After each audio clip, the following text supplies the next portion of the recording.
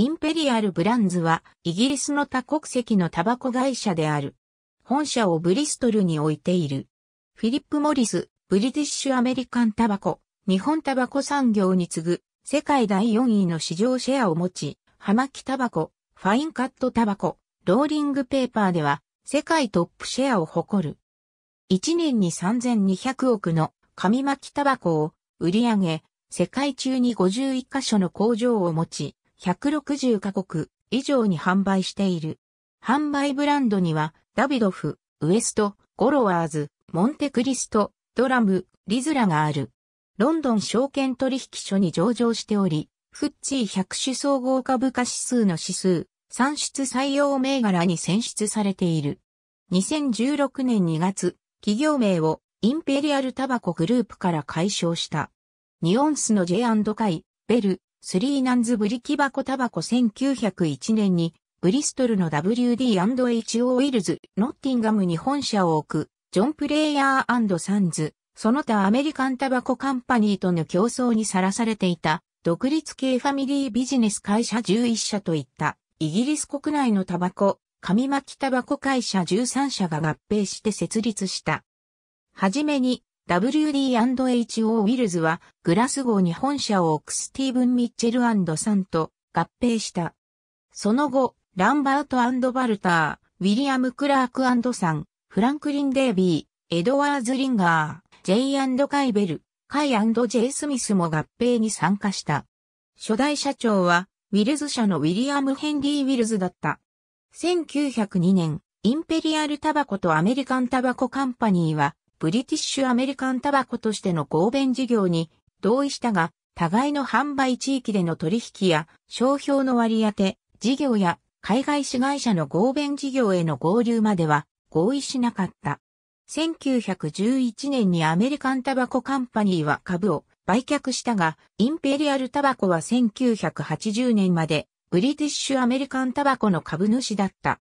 1973年にインペリアルタバコは主にレストランチェーン、フードサービス、卸小売業を買収することで経営を多角化し、社名をインペリアルグループを変更した。1985年、AC イスラエルからピープルズドラッグチェーンとマサコ会社を買収したが、1986年に複合企業のハンソントラストに25億ポンドで買収された。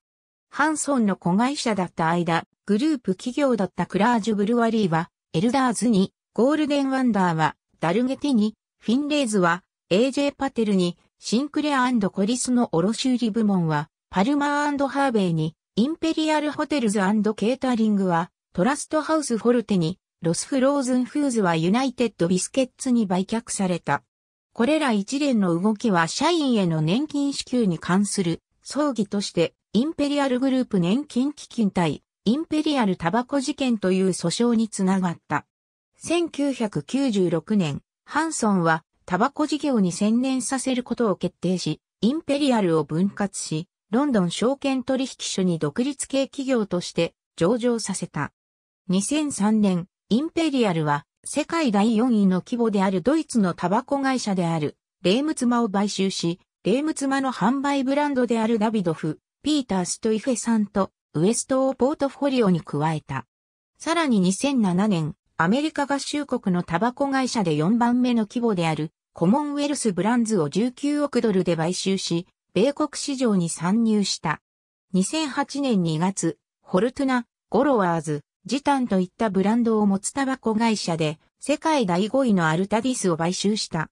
2010年1月にスコットランド議会が2011年秋より公共の場所でのタバコ自動販売機や販売店などでのタバコの展示販売禁止を可決したことを受けて、インペリアルタバコはウェストミンスターの国会議事堂で販売規制の停止が決議されたことを理由に法改正を不服として提訴したが、同年10月エディンバラにあるスコットランド民事控訴院のブラカデール・ハンジは訴訟を退けた。